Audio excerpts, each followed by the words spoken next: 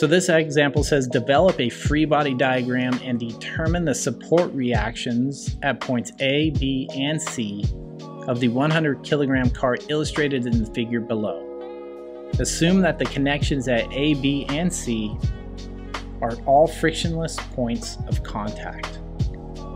So right there below in the solution, you see I laid out a framework required to solve this problem. Remember that this is our three-step process. We have to draw a free body diagram of the object of interest. We have to write out and solve the equations of equilibrium, which I will present to you in this uh, solution, and determine any unknown support reactions and forces. And then step three is to calculate any necessary internal forces. Now, we aren't going to really get into step three in today's workshop, this cram session. That is outside of the scope. However, it's very important to keep these three steps together because in the future cram sessions, when we hit trusses and um, you know work on shear and bending, uh, you'll see step number three play itself in to the solution. So we've gone ahead and muted that out as you can see, but we will keep it there. So the, that leaves us with two steps. We got to draw a free body diagram and we have to write out and solve the equations of equilibrium. So our first step is to sketch out our free body diagram. Now I just highlighted with a red dotted line our cart. This is our object of interest. It's the cart itself. This is what we will be analyzing in this particular problem. Now, when defining our free body diagram, there is a four-step process that I like to follow to ensure that I'm capturing all the relevant data I will need to further analyze this problem. Now, the four-step process is sketch the complete object that you're working with, draw all external support reactions as well as any springs, cables, or other forces acting on the system, and we will include complex supports in step two. We will identify each force with the proper magnitude and direction. We'll label all unknowns with unique nomenclature. And then finally, we'll add any relevant dimensions needed for analysis. So let's go ahead and start with step number one, sketching the complete object. Now again, our object of interest is the cart itself, so we can simply draw out that shape as it's depicted in the original formula. This is the starting point of our free body diagram and the object in which we want to confirm equilibrium for and to solve for any unknown support reactions. And they've already identified where those unknown support reactions are going to be, A, B, and C. Now the next step is to identify all the external support reactions, the springs, the cables that are attached to our object. Now we will also again include any complex supports, self-weight, things like that.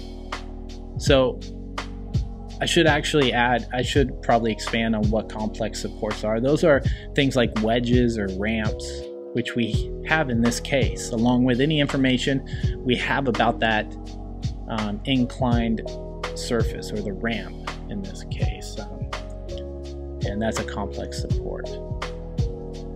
Now looking at our problem statement as well as the figure given, we know that the support reactions at point A, B, and C are going to be of significance. So let's go ahead and identify those first. And we know that the cart weighs in at 100 kilograms and that drops vertically from the center of gravity as it's shown. So these are all the forces that are acting on our object of interest. There really isn't much we can do with this diagram as it sits right now. We don't have the data to actually start analyzing it. So we will have to move over or move forward to our next step, which is to identify each force with all the appropriate data needed to assess equilibrium. Now what I like to do is identify each of these forces with a unique nomenclature. So first let's go ahead and look at the forces that act at A, B, and C. And as you see, I've identified them as F sub A, F sub B, F sub C. Now, it doesn't really matter how you identify these forces. They could be ABC, they can be DEF, they can be XYZ. It doesn't matter as long as you keep them straight. But this is the most straight way that I know to do it, that, that I don't confuse myself. Um, so feel free to go with uh, what you're comfortable with. And we also have our self weight, which is W. Now that we have all of our forces identified, we can now begin adding in all the pertinent dimensional data that will help us actually solve for these unknowns. So we just simply bring all over all the dimensional data. There really isn't a need to filter anything out. We never want to go back and pull dimensional data once we are actually into our analysis. So just pull it all over at this point, place it on your free body diagram as you see right there. Um, you know, if you have too much, it doesn't matter. You just don't want to have too little, so you have to actually go back. And so there you are, you know, right there is our fully developed free body diagram that's based on the information and the illustration we are given in our problem statement. So now what we can actually do is go on to step two of our process where we will write out our equations of equilibrium and determine any unknown support reactions and forces, which we know there are three, A, B, and C, or F sub A, F sub B, F sub C. Now, recall back to college days that um, for a two-dimensional problem, there's three equations of equilibrium, um, which are the sum of the x components over there on the right side. EOE is just short for equations of equilibrium. So we have the sum of all the components in the x direction must sum up to zero. The sum of all the y components sum up to zero, as well as the sum of the moments must equal zero. Now the first two equations that you see right there, those will confirm that we have translational equilibrium. If those equations do not sum up to zero, then we're translating. That object is translating up, down, right, left on the XY coordinate system. Um, it's going somewhere. So we have to ensure that we have translational equilibrium and those first two equations will do just that. Now this third equation right here is going to confirm that we have rotational equilibrium. So once all those sum up to zero, if all of them sum up to zero, that cart is just chilling. It's not moving at all. And that's what we want in a static problem. It's going to actually allow us to um, um, define what the support reactions are, which were asked in this question. let's first establish our axes. Now for most problems, we can simply work along the standard XY coordinate system as you see right there. It's uh, right there to the bottom left of that free body diagram. But doing so here will just complicate this problem beyond our means and especially when we are up against the clock. It's possible but undesirable and most definitely undesirable on the FE exam. So what I want you to do and I advise you to do is actually to rotate this axis so that it runs along that inclined plane as shown. Now what this does is it actually significantly simplifies our calculations by making self-weight the only force that needs any adjustment to accommodate that axis rotation. All of the other forces are run either parallel or perpendicular to our plane, falling right on the xy coordinate system as we have rotated it. So before we actually begin our calculations, let's determine the xy components of self-weight. Now the x component will run around, along the rotated x-axis and will be equal to w cosine 30. The y component will run along the rotated y-axis and be w cosine 60, as shown on there on that free body diagram. So for simplification's sake, we can go ahead and just remove self-weight, um, the what the one the force that represented the original self-weight, and just kind of clean up that diagram a little bit. And, and we can go ahead now and move forward with writing our equations of equilibrium. So let's go ahead and start with our translational equations, which run along the xy axes. Now gathering all of the force components that run along the x-axis, we get the equation FA, F sub A minus W cosine 60. Now doing the same for the components that run along the y-axis, we get FB plus FC minus W cosine 30. So next, let's go ahead and formulate our rotational equation. Remember this is the moment must add up and sum to zero. I will take the moment about point B because we always want to actually eliminate an unknown if we can. And I'll also make the counterclockwise direction a positive moment direction.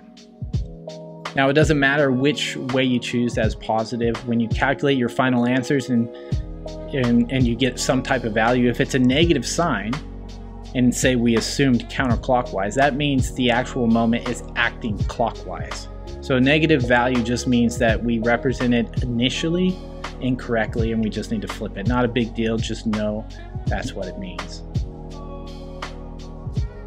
Now, doing the same as we did with the translational equations, we identify and gather all the forces that create a moment about point B. In doing so, we get a big long equation. I'm not going to really read that out to you, but um, pretty much uh, F sub A, the self weight, and F sub C is creating some moment about point B. So now we have all of our equations defined. And as you see, we have three equations, we have three unknowns, so we have everything we need to actually solve for the unknown reactions. We just have to take a glance to look around and see where the most obvious place and least painful place is to start. And once we have one reaction, we can plug, or the value for the reaction, we can actually start just plugging into other equations and, and minimizing the number of unknowns, unknowns we have until we have them all defined. So looking at all these equations, you already see where I want to start. I want to start with the sum of the x components.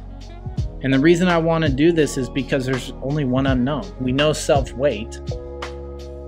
So all we have to do is plug in that information. And once we do that, we get uh, the reaction at point A, or F sub A, is equal to 491 newtons. So I'll stop you right here real quick. As you can see right there, we were given the we were given the mass of this cart as 100 kilograms. So we had to multiply that by gravity, which is 9.81. Had we not done that, we would have got a significantly different number, much, much lower. And um, so that's that's the big deal right there. That's why mass and weight and knowing the difference is so important come exam day, because believe me, they're going to give you things in mass. You're going to plug those in without thinking. You're going to get an answer that is an op- answer option, and you're going to get it wrong. So just, uh, you know, embed that into your mind right now. Make the mistake today so you don't have to make the mistake come exam day. So next, let's go ahead and take a look around. Once again, we have two more equations. What one do we want to work with? We do want to use the moment equation. And um, once we do that, we just have to plug in our information and it becomes one big ugly uh, equation. But once all calculated out, we get a force at point C of 670 newtons.